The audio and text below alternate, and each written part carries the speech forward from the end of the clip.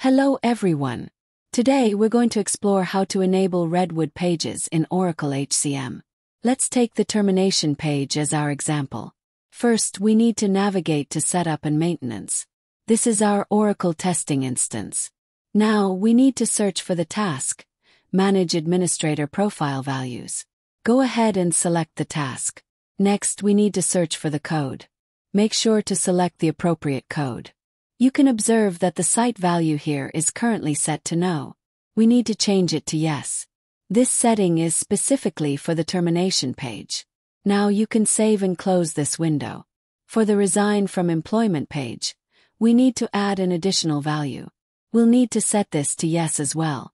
By default, these pages will be disabled. Therefore, we are going to enable those pages now. I will demonstrate whether we can view the termination page here. As you can see, the termination page is present. Let's check to see if it is Redwood enabled. No, this is not the Redwood page.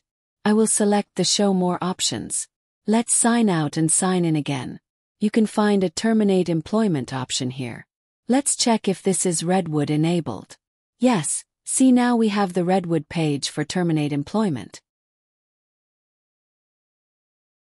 We are providing Managed HCM slash ERP Consulting, AI for ERP, Automated Testing, Enterprise Architecture Services, Redwood and Visual Builder Studio Consulting, DevOps for ERP, Keros Functional Suite. Thank you.